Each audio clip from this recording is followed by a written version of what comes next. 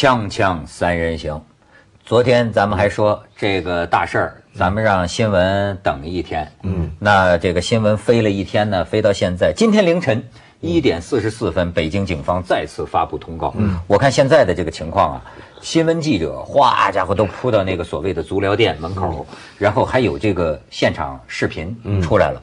现场视频黑乎乎一片，就听见这个姓雷的肯定是被便衣控制，喊这个救救我呀，救救我呀，救命！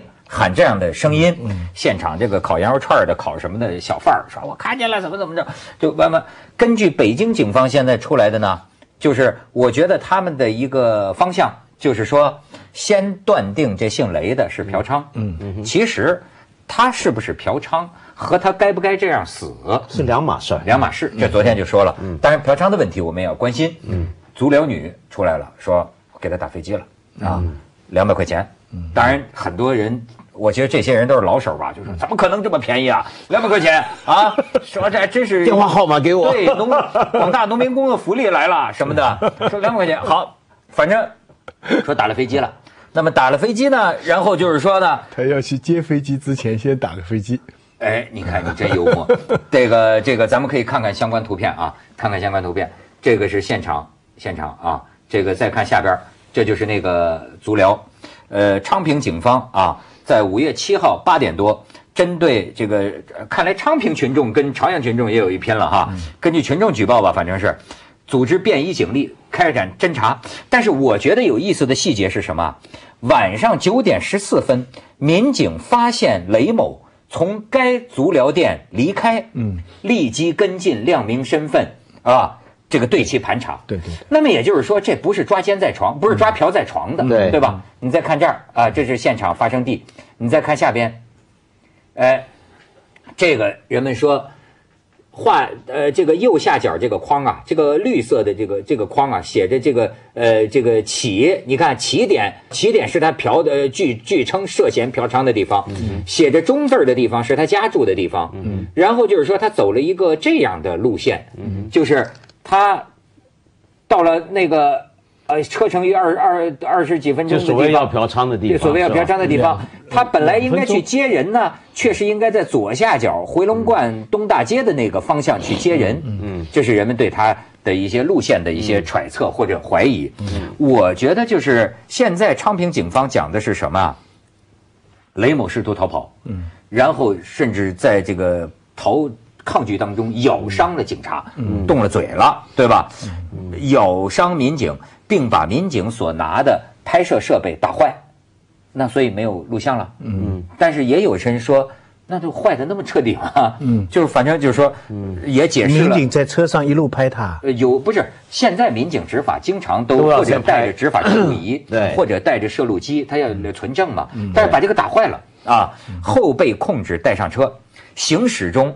雷某还要挣脱看管，从你看啊，他是坐他坐在车后座，从车后座窜至副驾驶的位置，蹬踹这个驾驶的，让他停车，造成停车，然后他开车门跳车。后来人们就问，那是不是脑袋咣一下跳车摔死了？民警都说了不是，但是就说确实有这个情况，他咣叽摔在地上了，然后呢又把他再次控制起来，弄上车，然后呢。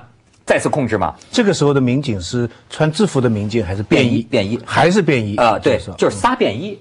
对，然后呢？呃，因雷某激烈反抗，为防止其再次脱逃，民警依法给其戴上手铐，并于二十一点四十五分带上车。在带回审查途中，发现他不对劲，不舒适，赶往医院，就出现了昨天咱们知道的这个情况。嗯嗯，两位怎么看？我想起来，我有个朋友。很多年的老朋友，也很多年前也被昌平 的人背过上车，然后在车上也是一番的这种事情，然后最后他也受伤了，扭伤了腰啊，然后就一直好不了，好像以后少去昌平。哎，不，这个呢，就是你看他现在这个，呃，我注意人大不是说人大硕士嘛，人大他雷某的同学家人呐，这愤怒啊就。抗议书出来了，但是他们这个愤怒，我感觉基本上一个就是先是嫖没嫖，他们好像都不服啊，对吧？嫖不嫖，我先服了，对吧？我 我是什么意思呢？我是说，即便他真的嫖了，咱们说怎么样呢咱们说的是人命关天的大事儿，对吧？我觉得呢，这个事情里边啊，第一等待事实，因为昌平人民检察院，而且等待尸检的结果，我觉得这个是铁的事实，必须要搞到。但是呢，咱们不现在不都讲程序正义吗？哎，我倒觉得在程序上，我们可以来说一说这个事情。嗯，它很有意思。你比方说啊，呃，在哪一抓嫖，这个就涉及到，呃，我们过去啊，因为我做过法制节目，过去呢，公安的执法动作也都是这个，往往是比较隐秘的，呃，出于大家都能知道的原因，就是往往不说。对吧？一般都是说我们警察在工作中，你看朝阳警察从来都是在工作中，对吧？警察进行了工作，包括这个强制约束措施，对吧？可是呢，在这件事情上，因为涉及到了死因，嗯，你比如说从咱从对等的角度来说啊，我觉得你看看外国电影都有叫叫香港叫死因研讯庭啊，就死因研讯。假如真到那种法庭上，我认为啊，你对他的动作已经说得非常清楚了，他对吧？从后座到前座蹬踹副驾驶，然后跳车，说这么清楚了。那假如真的死因研讯的话呀，你的这个执法动作，嗯。你的这个强制约束措施，就这个强对他强制约束到底怎么约束？不管他是不是心脏病触发，嗯。那么我我觉得这事儿啊，甚至我就觉得这个事儿到最后未必说得清了，嗯。因为真的按照十万分科学的角度来说，嗯假如真的闹到说心脏病触发的原因，嗯，与外部动作之间存，我不知道咱们国家的关系法医有没有细密到这个程度。呃，至少咱知道西方法庭那家伙打官司真能打到这个程度，就是说他是心脏病发作了，但是他是什么心脏病发作？嗯，他是什么内源性还是外源性？你当时做的某种动作，是否跟他心脏病发很难说得清的，这个这个事情就说不清的，很难说得清了。对对，啊在很多国家死因研讯这个都做不出结论，为什么呢？因为死因研讯大家常常误解了，所以死因研讯庭以为他的工作就是找出谁负责，不，他只是做一个很客观的了解死因是什么，而那个死因是什么，说到最后说是一个心脏病发，心脏病发是什么呢？有时候甚至都不会说是一个什么外面的动作造成，他就算说了，他也没法告诉你那是谁来负责任。所以死因研讯跟一个法庭上我们去追追究一个案件的责任人是两码事儿，完全没关系。而而且法医是谁？嗯，法医跟警方的关系是什么？就是这个是一个非常关键，他是不是一个第三方调查这个事件、啊？因为公检法我们常常是一个小组嘛，是不是？那么，但是这件事情的关注点是非常非常有意义。现在在网上我看了一下哈，真的就是两种关注点，嗯，一种就是说有没有嫖娼。就关心的就是有没有嫖娼那，打了另外飞机了哎，另外一种就是说是打了飞机很奇怪，因为他是打了出来以后，事后被被哎便衣抓到，这我还真很无这个这个便衣不是这我怎么这么有本领、这我还真这我还真很无知。打飞机算不算嫖娼？算不算我不？知道，算我不知道，卖淫？算不算这个咱在法盲。打飞机算嫖娼吗？你不是以前做法制节目的吗？我觉得应该算，应该算不算不算不知道，应应该但是这个事后判断这个本领就很强了，就是有一个人从里边跑出来，边一啪上去，已经知道他飞机已经起飞了或者降落了，这个是怎么判断的？这些都是在关心前面一点，对啊，就是因为他完全可以说我真的是洗脚，那不行吗？泡脚了。就但是这些的焦点就是有没有嫖娼，而另外一些人关心的是他，呃，就觉我觉得两个关心点哈、背后真的太不一样了。一个是关心这个社会道德啊，世道人心；一个是关心这个公权力有没有执法者违法。这个要是在别的国家的话，我们因为这种事情全世界都会发生，我们可以设想一下，要是这个事情发生在阿富汗或者是中东的国家的话，大家关心的是前者，嗯，主要的，因为因为你如果说这个人是在性方面有有有有不道德的行为啊，那是要被石头丢死的。所以后面的结果大家是不关心，所以现在很多人的热情就在关心在这个地方，就是说他们就要追究的就是说有没有嫖娼。但是如果这个事情发生在美国的话呢，那这个我们知道美国太多了，就是警察执法滥用暴力，对。啊，这个就是就是就是执执法者违法的一个大问题。对所以其实呃，每一个我们的节目的每个观众，大家每个人在关心这个消息的人，都可以自己问一下，你关心的是什么，嗯。然后你才发现你对这个社会的基本看法是什么？我告诉你，我关心的是什么？嗯，广告之后我跟你讲，锵锵三人行，广告之后见。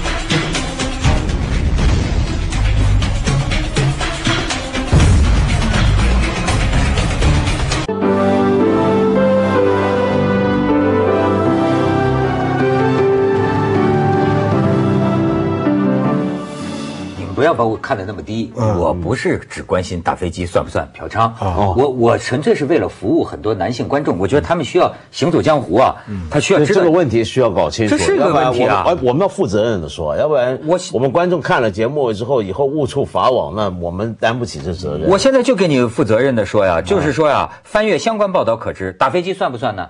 不同的城市界定并不相同。哦北京，你看，二零一三年什么《京华时报》记者这次访问北京警方，民警称，像打飞机胸推，对吧？胸推这事儿，徐老师熟吧？是吧？什么叫胸推？什么叫？胸推啊？哎，什么叫胸推？我真不知道知道吗哎，不知道。哦，我也不知道啊，就是打飞机胸推这种属于这个什么叫胸推啊？这个色情服务属于色情服务。你要不知道，你能装仨支架吗？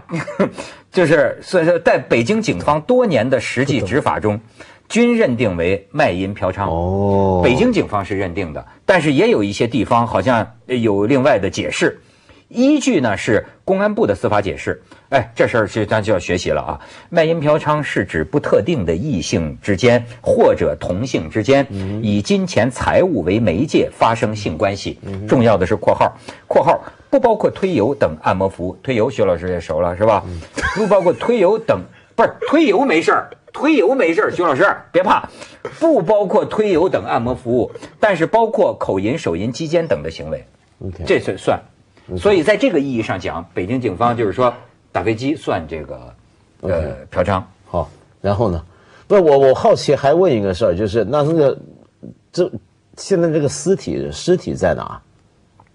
尸体就是呃检察院呢，我听说这次也要出动第三方，我听说啊，不是嗯不是不是确实的，就是要要检，因为这个事情闹大了。但是这个事情啊，徐老师刚才讲了一句什么公检法，啊，我就跟你说，公检法过去我们都是一起提，对感觉是一家，嗯，可是实际上它不能是一家，嗯，对吧？它它它它应该是各司其职的，对吧？所以你只能，因此我就觉得，我说我真正关心的是什么呢？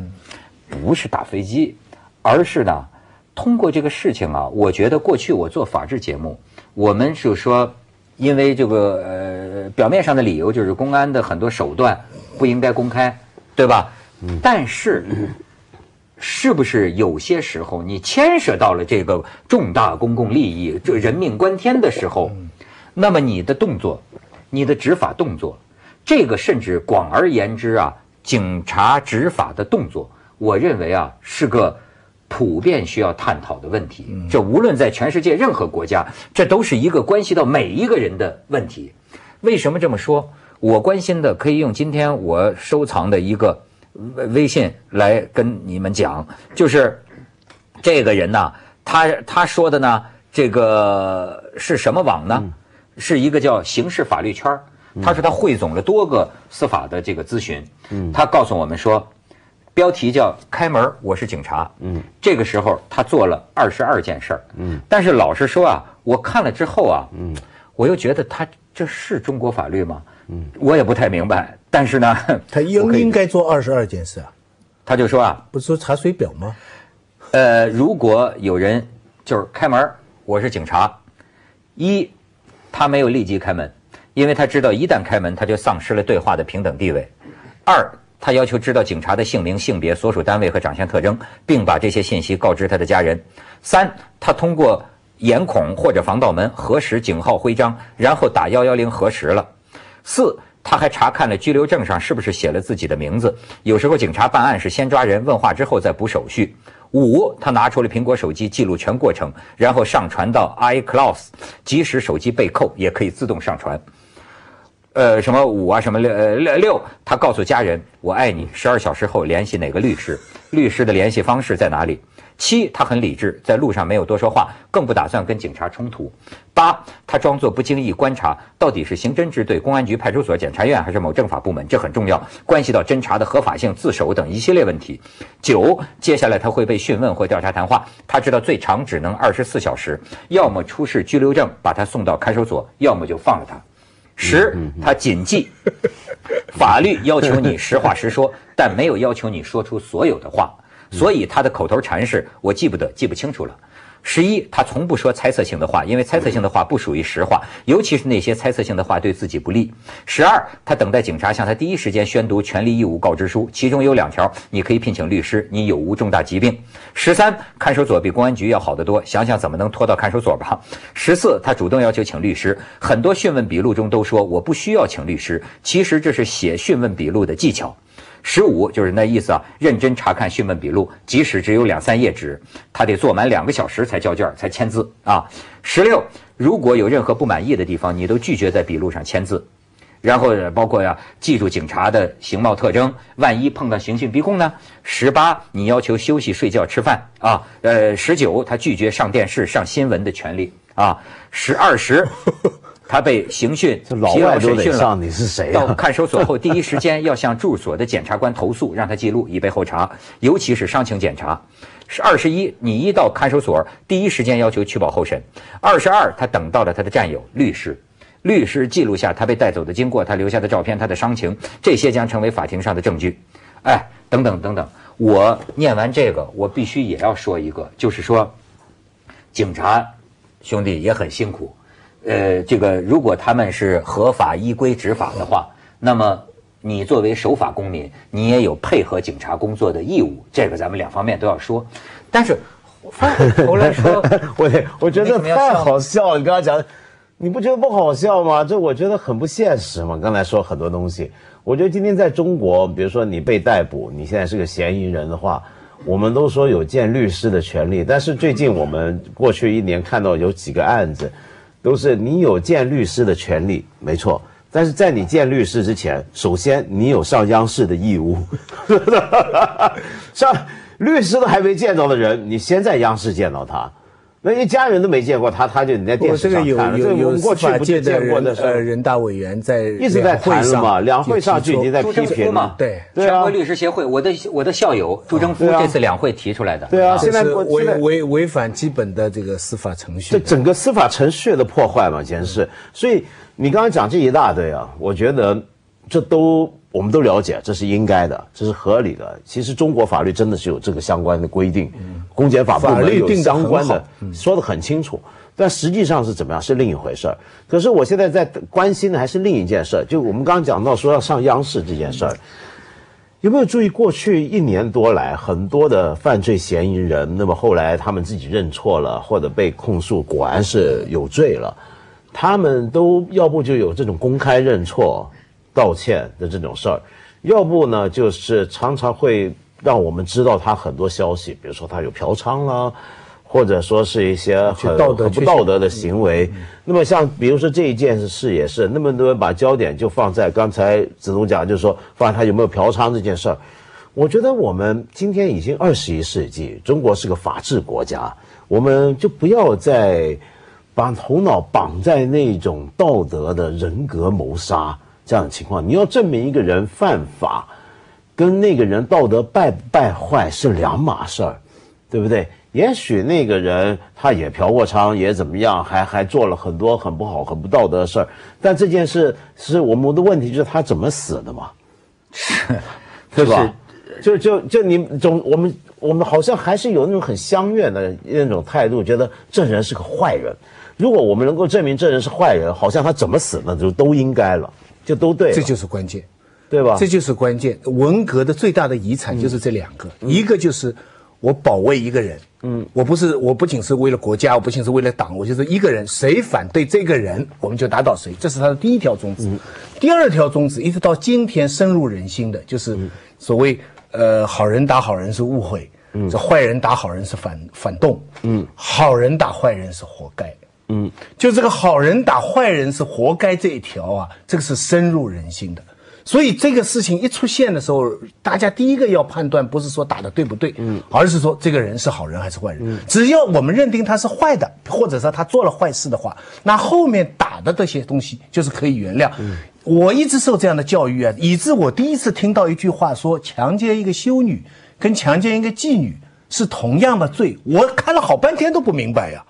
我说这个怎么？你过去一直以为不一样，当然不一样。我觉得这个强奸的修女，这个这个最大的多啊！这个人家是修女，强奸个妓女，你看她穿成这个样子。后来我仔细想想，哎，为什么要这样说？现在的问题是这样哈，你假如说有误伤打死人的话，打死一个嫖客跟打死一个学者，是不是同样犯错呢？嗯。或者这个错的严重程度是不是一样？一样的，嗯，哎，就在这个地方，这个我们很多年就形成了这一道。只要你是坏人，我打固然是中间有错，但是比一个打一个好人，这个错要轻得多。就这样。哎呀，人道主义光辉啊！锵锵三人行，广告之后见。